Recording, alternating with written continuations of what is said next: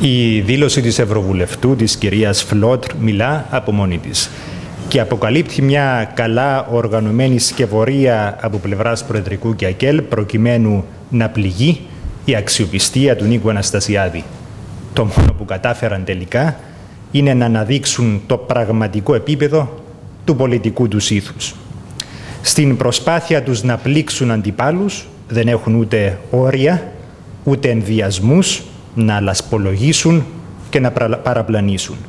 Ακόμη και να συμμαχήσουν και να συνεργαστούν με την τουρκική προπαγάνδα.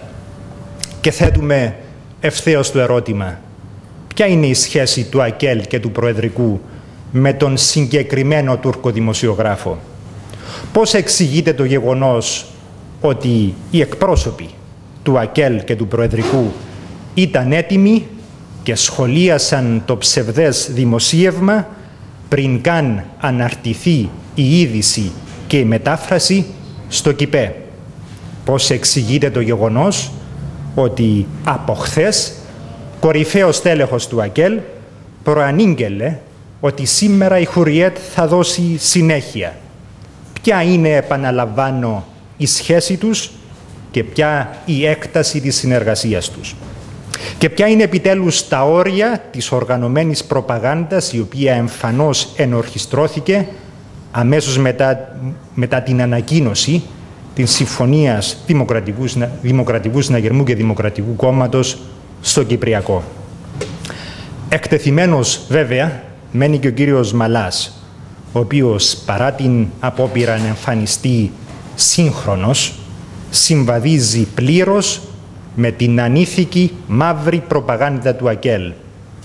Αν ήταν διαφορετικός άλλωστε, δεν θα τον επέλεγε το ΑΚΕΛ.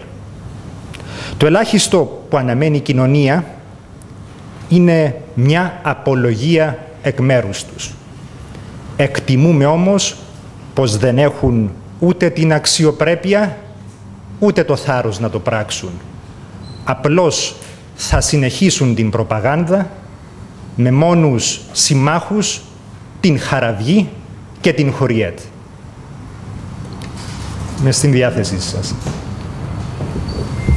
Υπάρχει ένα σημείο σε σχέση με την παρουσία του και του δημοσιογράφου λόγω της φωτογραφίας που είναι το